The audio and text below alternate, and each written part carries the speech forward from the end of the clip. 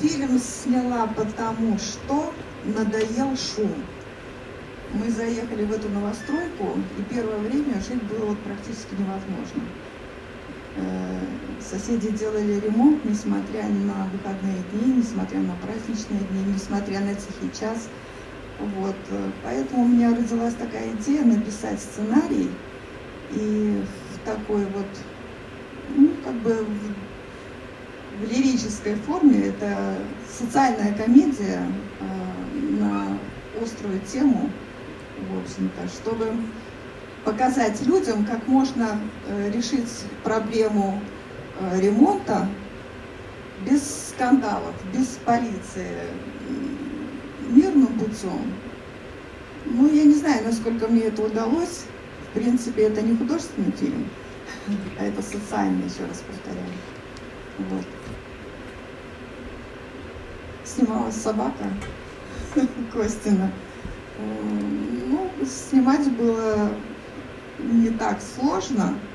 А, съемочная группа у нас э, собралась, это все мои актеры, друзья и оператор-постановщик. Э, кстати, два композитора писали отдельно музыку под э, каждый эпизод. Уложились в пять съемочных смен, немножечко затянули со снегом, потому что снимали в конце зимы, протянули, что-то там 15 человек основных актеров, было тяжело их всех собрать, все заняты, все на съемках. Э, Максим снимался в фильме «Дорога на Берлин», и в этот момент он еще играл в театре. И поэтому мы все под него подстраивались, Демченко Максим. Вот. Ну, как бы сложилось, удалось составить сетку, выстроить. Вот. А когда снимали снег, ну, была такая история, в общем-то, пошел снег, мы переходили из одного подъезда в другой, бегали с камерами, с актерами, с манатками, кто-то снимал бэкстейдж, и пошел снег. Я кричу, снимайте снег, снимайте. Но никто не слышал, всем, все замерзли, всем надо было зайти домой в локацию. Вот. А когда уже пошли на крышу снимать вот эти панорамы, снега не было. Камеру, э, оборудование брали в аренду. Оплата дорогая. Последний съемочный день. Стою, думаю, что делать. Они, ну что, давай в апреле будем снимать. Ничего страшного. Я говорю, да идите к черту. Что значит ничего страшного в апреле? Вы понимаете, что вот это вот все опять надо собирать. Стойте здесь. Убежала домой, взяла подушку. Поднялась на крышу, говорю, рвем подушку и кидаем. Поставили камеру, разорвали подушку и начали сыпать снег. Вот. Я так с крыши, с 20 этажа смотрю, вроде красиво. И люди не поняли. Солнце, то ли снег, то ли перо летит. Ну вот этот момент был тогда, конечно, завораживающий. Вот. Ну, какие казусы были. А, Семен Фролов – это автор-исполнитель своих собственных песен. «Все бабы, как бабы» написал песню. Мы с ним договаривались, что он будет петь другую песню, но он решил петь эту. Разрешила Бог с ним. А, в тот момент, когда мы его снимали, никто не ожидал, что вот этот его валенок, который он снял с ноги и запустил в потолок, оставит там отпечаток.